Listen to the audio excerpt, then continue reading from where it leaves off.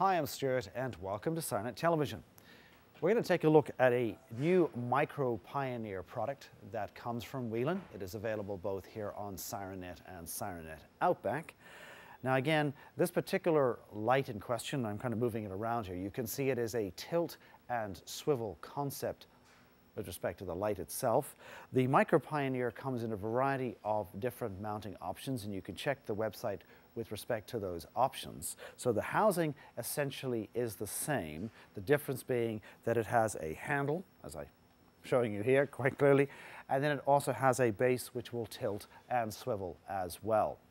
The light itself has a part number which is at MPPBBS. That stands basically for Micro Pioneer Plus with a black, black base and housing. So there you go with the part number. Now it also comes with a variety of different lenses. It comes with a total of four different lenses in the packaging, so that's quite neat with respect to how you want to set this up. But you might ask, well, what would I use this for? Well, from the fire service, EMS, or sheriff, rescue, this is ideal to be placed on the back of a unit where you want to angle down the light, or if you need to move it around, should you decide to do so, you could go ahead and do that. Also, again, with public works or utility trucks working on the lines, repairing power poles, that type of thing. Again, a product which would definitely work in that direction should you decide to do that. There is an on-off switch at the back here. I'm going to go ahead and push that and turn it on. It's quite bright, so I'll spin it around here, not try and blind you, but there you go, what the heck. Move it around a little bit, and you can clearly see the tilt and swivel aspects of this particular light. Now again, it has got a total of four different lenses, so let's take a quick look at those. At the same time, let's move it around here and we can see what it looks like close-up with respect to how the diodes are placed inside here. And again, using Whelen's patented deep dish technology, you've got your Gen 3 diodes in position there with an additional diffuser mounted in front of the actual LED itself, which will then bounce the light back into the deep dish reflector. Now, as far as lenses go, this, as you can see here, is clear, so this by definition would be a spot.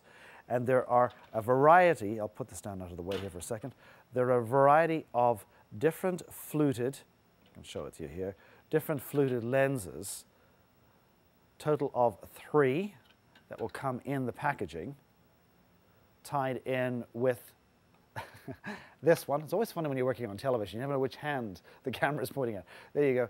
So there's a total of three lenses that come in the packaging and one included gives you four. This lens itself is a 40 by 8 degree flood. That's this particular one. Grab this one here and spin it around so you can see it there. And this one is a 40 by 20 degree flood. This is a 40 by 20. And then the next one here, again, put it around so you can actually see it.